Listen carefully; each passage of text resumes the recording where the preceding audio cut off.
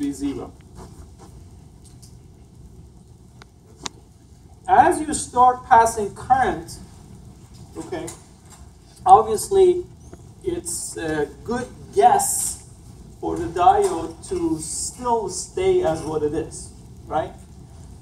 Why am I saying that? Because for this diode to turn on, this voltage has to be larger than that voltage.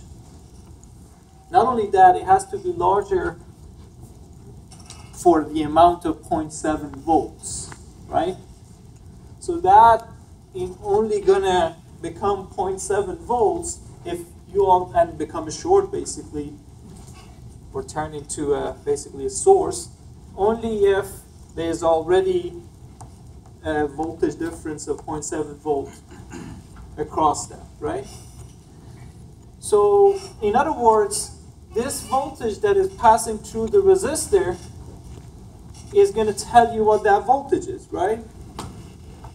So, therefore, you already know what the voltage, if I assume that this is a ground, I make a reference, right? So I already know that's 1 volt. And if that's 0.7, this has to become 1.7, and after that, this just the, the current is going to pass and your diode is on. So you just need to know when that happens. When is that 1.7 volt? Okay? It's a simple equation for that that is going to tell you, because if that's 1.7, the current here would be 1.7 milliamp, right? IR. Which you still, all the way to that point, there's no current going there, right? So the diode is off. So there's no current going there. This current comes in. Where does it go? It's passing through the resistor. So this current that I, I calculated all the way to this point is actually this current. Right? So it just keeps growing starting from 0 all the way to 1.7 milliamp until it reaches what? 1.7 volts. Is the current, just keep on going. It's just a simple Ohm's law, basically, right? And then what happens?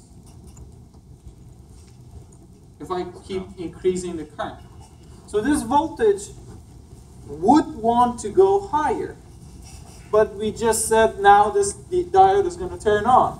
So when it turns on, I'm going to replace it with its model, which is 1.7 volts. So what is this voltage if this diode is on? 1.7? It's 1.7. It's not going to change. If the, as soon as the diode turns on, that voltage is not going to change anymore. So this thing is going to go up and regardless of what happens after that, this voltage is going to stay constant. It's not going to change because of this assumption.